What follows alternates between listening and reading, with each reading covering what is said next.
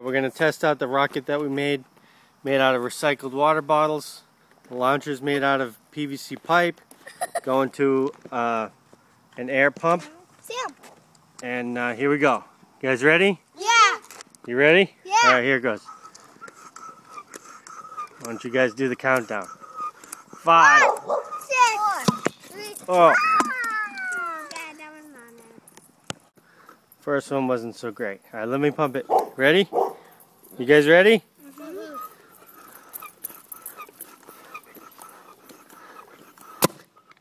Oh, much better. Launch five. Watch out, Claire. Oh, that was a good one. All right, now we're on 11. The last couple were failures. All right, we're gonna get a lot of pressure this time.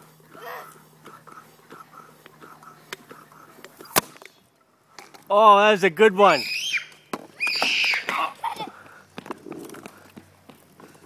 So if anybody wants to make one of these at home, two water bottles, back to back, taped together, cardboard for the wings of the rocket.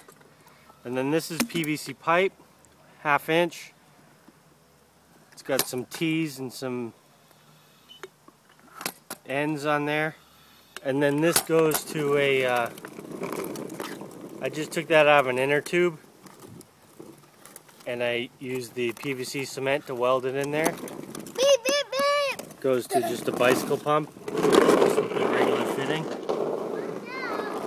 And then put some duct tape on there and it makes a really tight fitting with the end of the bottle.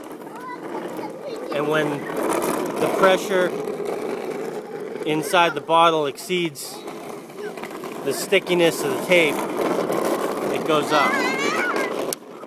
Pretty simple. Here it goes right now. You can have it on there pretty good.